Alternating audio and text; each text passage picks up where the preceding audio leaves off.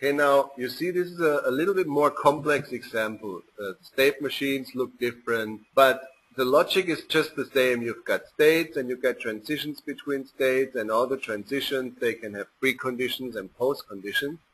I just want to show you another thing. You see that there's different colors and different box types. Those gray boxes are the regular boxes. Those light green boxes are start states. And um, those blue boxes, uh, they are they contain another state machine. So if you look at evaluate enemy post, it looks like it's just one box. If I double click it, you see that it's a more complex state machine. All this, all what you see here, all these complex things here are that one box which I've shown you before.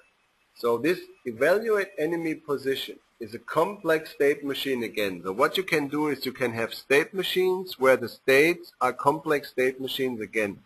This is done to, to reuse certain behaviors and to, to make the look of a state machine easier. So if you have a very complex behavior like fighting, you just would like to have a box setting fighting and then within that box you can define what fighting really looks like.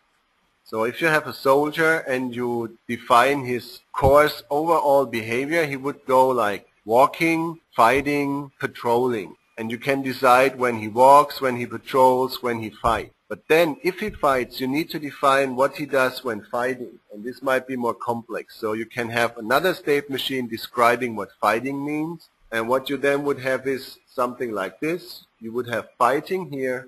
And if you click on fighting, you get complete set of actions describing how to fight. So that's the idea behind these hierarchical state machines. And if you look over here on the left hand side, you see all the state machines that are there. There you see that there's a state machines. Blockade, bot cover, change gun position. And when there's another state machine underneath, like here in bot cover, you see that there's underneath a move to save post state machine. This means that that there's some hierarchy, that the bot cover state machines uses the move to save position state machine. And if you look at the move to save position state machine, it uses the evaluate in enemy position state machine. You have states and transition between states, and every state can potentially be a state machine again.